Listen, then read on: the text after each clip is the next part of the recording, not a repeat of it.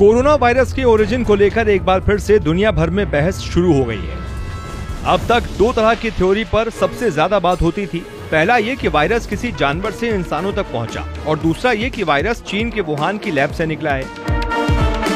अमेरिकी राष्ट्रपति Joe Biden ने एक रिपोर्ट के बाद अपनी एजेंसियों को 90 दिनों में इन सवालों का जवाब तलाशने को कहा है।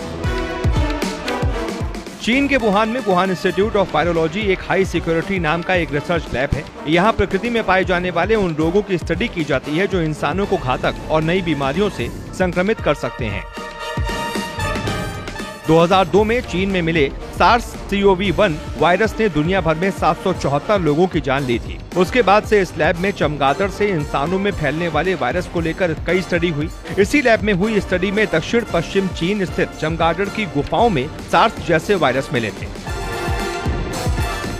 यहाँ काम करने वाले इंसानों पर वायरस के असर का पता लगाने के लिए जानवरों में लाइव वायरस के साथ प्रयोग किया जाता है। वैज्ञानिकों को कठोर सिक्योरिटी प्रोटोकॉल को फॉलो करना होता है, जिससे गलती से भी वायरस के कारण कोई अनहोनी न हो।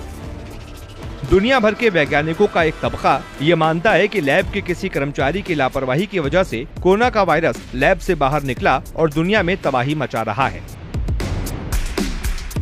इस तर्क को बल मिलने का एक प्रमुख कारण ये भी है कि लैब के बेहद नज़दीक हुनान सी फ़ूड मार्केट है, जहाँ सबसे पहले कोरोना ने तबाही मचाई थी। साथ ही चीन सरकार द्वारा लैब से वायरस लीक होने की आशंका की जाँच करने से इनकार करना लैब से संक्रमण फैलने की थ्योरी को बल देता है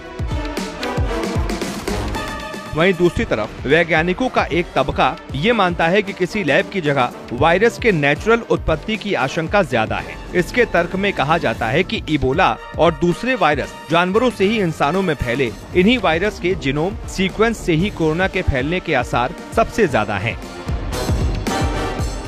अमेरिका के मौजूदा राष्ट्रपति जो बाइडन ने इसे लेकर अमेरिकी जाँच एजेंसियों को 90 दिनों में रिपोर्ट देने को कहा है। बाइडन ने कहा, मार्च में उन्होंने कोरोना की उत्पत्ति को लेकर रिपोर्ट तैयार करने को कहा था। उन्हें ये रिपोर्ट इसी महीने मिली है। इसे देखने के बाद ही उन्होंने इस जाँच को कराने का फैसला किया है। इस मुद्दे पर अमेरिकी अखबार वॉल स्ट्रीट जर्नल ने अमेरिकी गोपनीय रिपोर्ट के हवाले से यह दावा किया है कि वुहान के लैब के कई रिसर्चर नवंबर 2019 या उससे पहले बीमार पड़े थे। इन लोगों में कोरोना या सामान्य सर्दी, जुकाम और बुखार जैसे लक्षण थे, जबकि चीन में दुनिया का पहला घोषित कोरोना केस दिसंबर 2019 में आया था।